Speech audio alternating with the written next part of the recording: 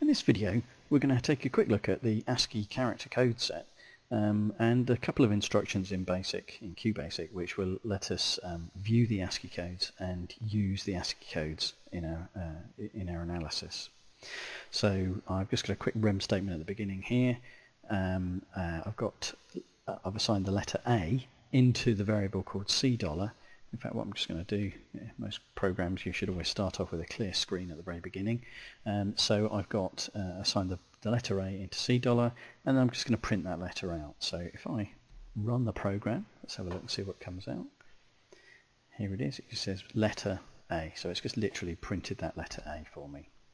Now, if I type in the following, so if I say C equals ASC brackets C dollar, so this is a function, ASC, which you put a string variable in, okay, or an individual letter, and it will return the ASCII code for that character.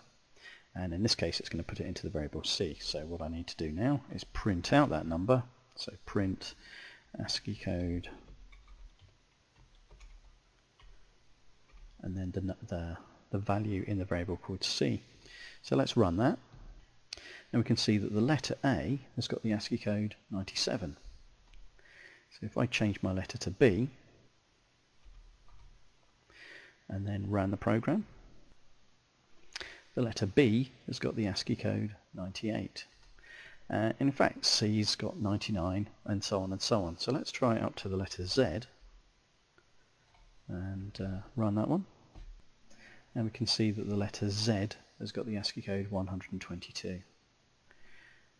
So that's all quite useful. Um, let's just take a look at the uppercase character set. So the letter capital A has got the ASCII code 65, capital B would be 66, capital C would be 67, and so on. So I leave it to you to find out what capital Z would be.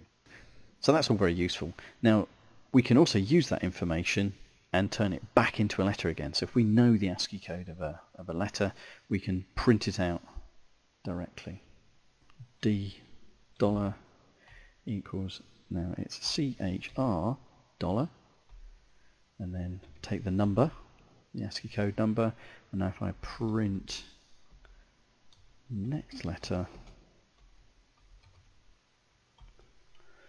um, D dollar.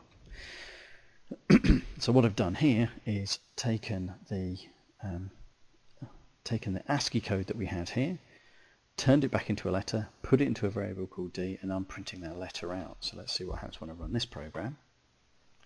And, oh, here we go. Look, I've got my letter going in. I turn it into a, an ASCII code, turned it back into a letter, and hey presto. So what we can do is, um, instead of putting the same uh, character, or turning, turning the same ASCII code into the same character, if I change my code here and add one to the ASCII code before putting it into the next letter. What we should get is a printout of the next letter. So let's run that program and see what happens.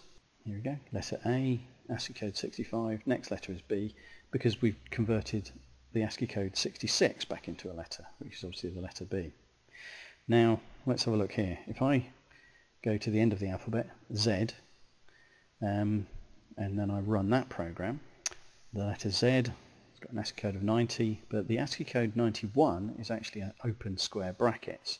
So I've got to be a little bit careful uh, when I'm using this process. I've got to make sure, I've got to check to see whether I'm beyond uh, the, the end of the letters, in which case I'm going to get funny characters coming out. So I'm not going to tell you how to overcome that, but that's something that you're going to have to deal with in your program when you're doing your code breaking. Okay, I hope that was useful, um, and good luck with coding your ASCII characters in your file in your code breaking program.